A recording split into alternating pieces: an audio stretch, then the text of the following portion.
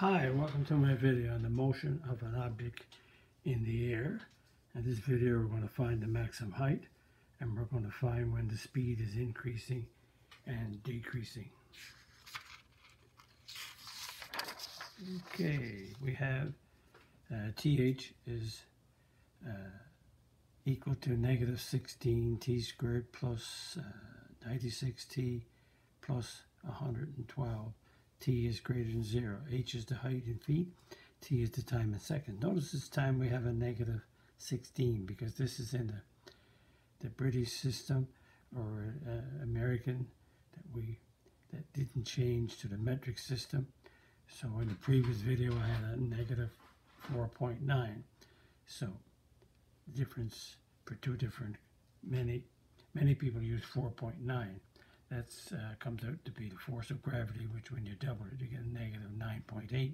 Here you get uh, negative 32, the force of gravity. Find the maximum height.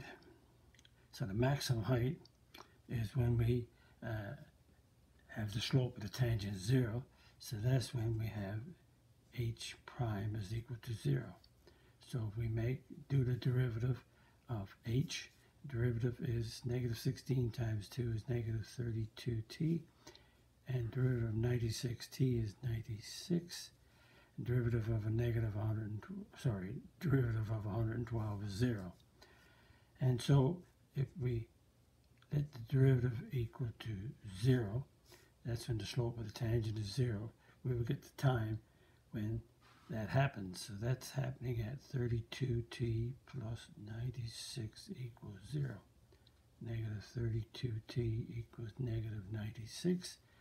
Divide by negative 32 and we get 3. So the height, the maximum height occurs at 3 and so that's h of 3 is putting 3 in this expression now 16 3 squared, negative 16, 3 squared plus 96 times 3 plus 112. And negative 16 times 9 is 144. 96 times 3, uh, 288 plus 112. So, oh, that's a negative there. So you add that up and you will get 256. So that's the height at time t. So the maximum height is, again, this is not in meters this time, this is in feet. So it's 256 feet in three seconds. And just to look at that a little bit more, just think about it. We have, uh, when t is zero, t is 0, we get a height of 112. So let's say the height when t is 0, this is t, this is h. When t is 0, we get a height of 112.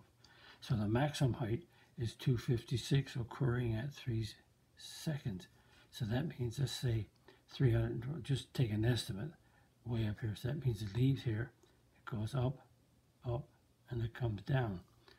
So that means that time goes by, at three seconds, it takes three seconds to get up. So it takes three seconds to come back down to the same height. So, and it continues on until it hits the ground. So, why I'm drawing this is this is 3, and this is 3 comma 256. I want to explain about when we do the derivative of and the double derivative. Number two, find when the object speed is increasing and decreasing. So we have uh, the derivative, which is right here. So h double prime t is equal to negative 32t plus 96. So what happens if we draw a line and let this line represent the derivative height in terms of time.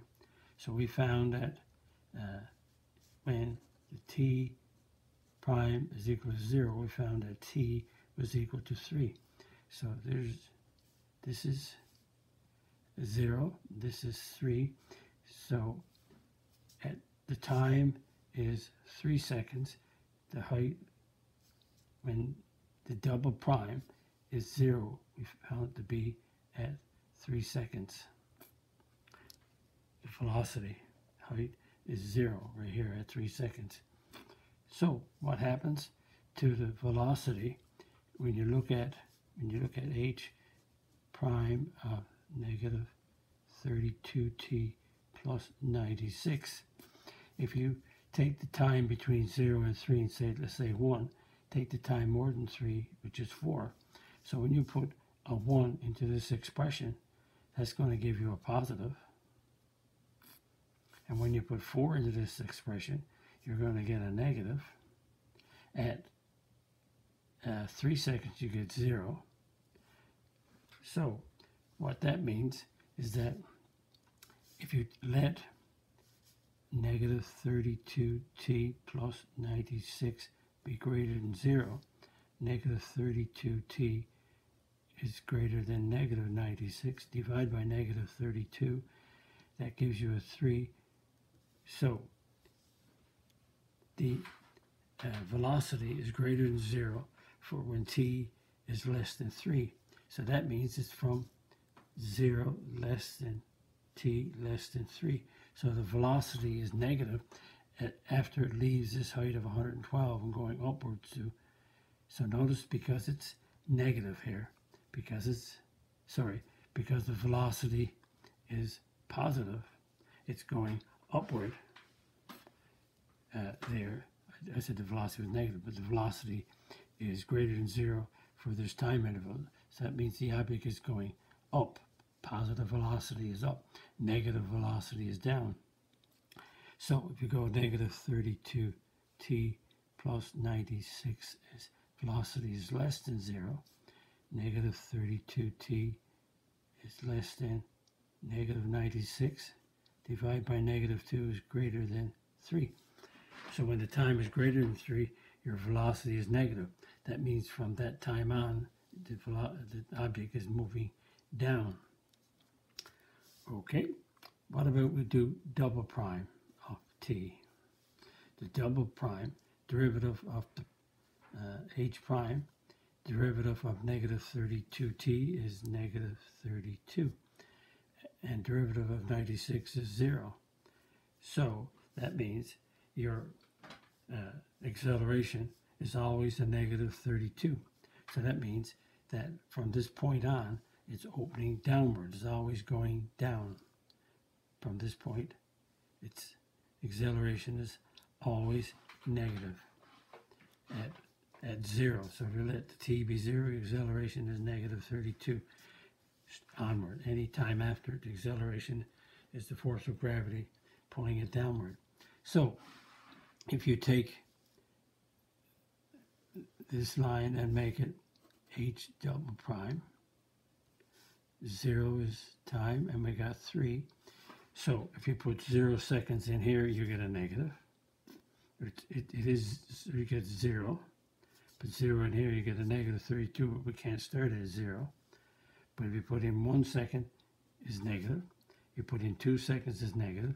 Put in three seconds, it's zero. Negative here.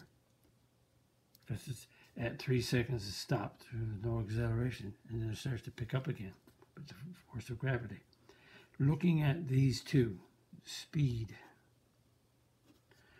if you look at the h of t, h prime, and h double prime, you get a plus here on uh, velocity, uh, velocity.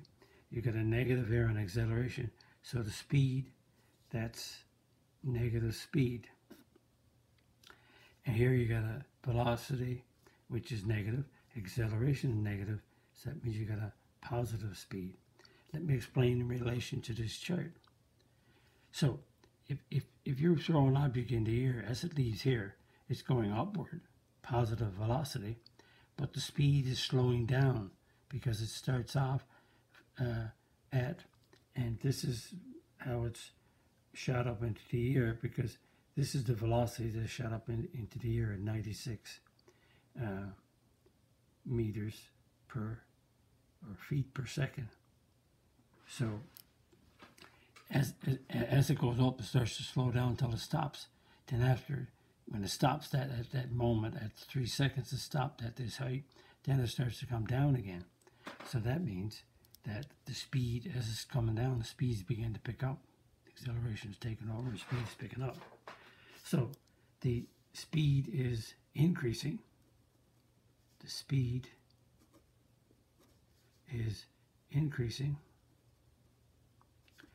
uh, in the interval of, uh, we could say 3 to infinity. Oh, no, 3 to the time that the object hits the ground, whatever time when the object hits the ground. So that means we have to let the height be 0 and work this out. So let's let the, h of t equals 0 and so that means negative 16t squared plus 96t plus 112 is equal to 0. So we divide by uh, negative 16 going to both of those numbers. Let's see. Take 112. Just turn this on. Just check. Whoop, uh, 112 division 16.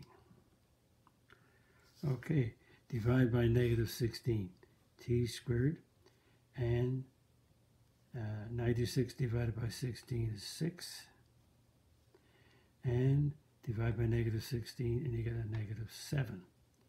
Works out. So this is factorable.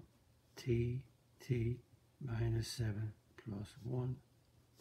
So t minus 7 equals 0. t plus 1 equals 0 t is 7, t is negative 1. So at right here, that's a 6. At 7, the this object is on the ground. So that means that this from 3 from 3 to 7 put a 7 there from 3 to 7 it's the speed is increasing because at, at 7 seconds there's no height the object is stopped. And when is the speed decreasing? If I can spell correctly.